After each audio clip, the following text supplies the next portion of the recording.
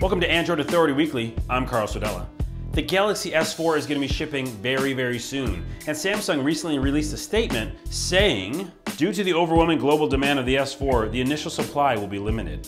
Global demand of the S4? It's a pretty look at me statement, don't you think? So people are lining up for the S4 in like the Maldives. Speaking of the Galaxy S4, it's getting a new limited edition case with Iron Man, the Iron Man Beam case. 39 bucks, you get not only Iron Man on your Galaxy phone, but it also has glowing eyes and an arc reactor when you connect through NFC. So if you look at like the current rate of NFC adoption, your Iron Man eyes and arc reactor probably won't light up ever because no one uses NFC. Iron Man's gonna be like, yo, a little help over here? my Arc reactor.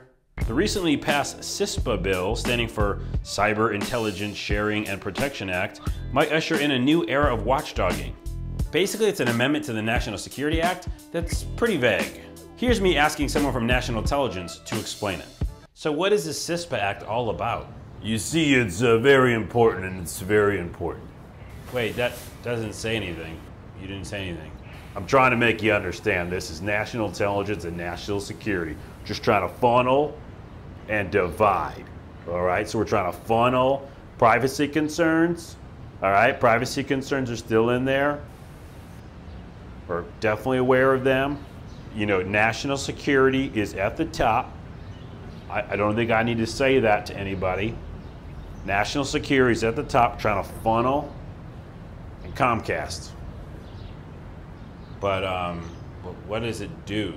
Yo, quick update on this story. The Senate says we ain't voting on this because that bill's crazy. We don't even know what's going on. Privacy concerns. I don't get it. You saw that guy. Anyways, I'm out.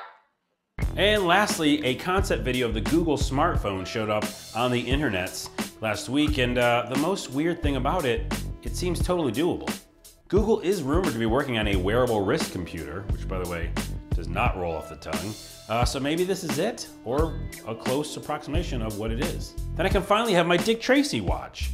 Uh, the little, TV you had? I wanted that for years. I'm getting blank stares. Dick Tracy, was like a detective, but he had like the cool watch.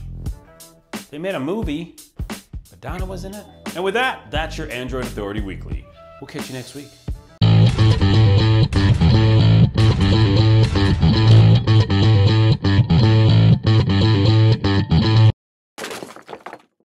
The uh, internet and Comcast over here, we gotta funnel this. Gotta funnel this action right over here. Uh, then our CISPA bills here. And see, it's, it just lays right on top of all that.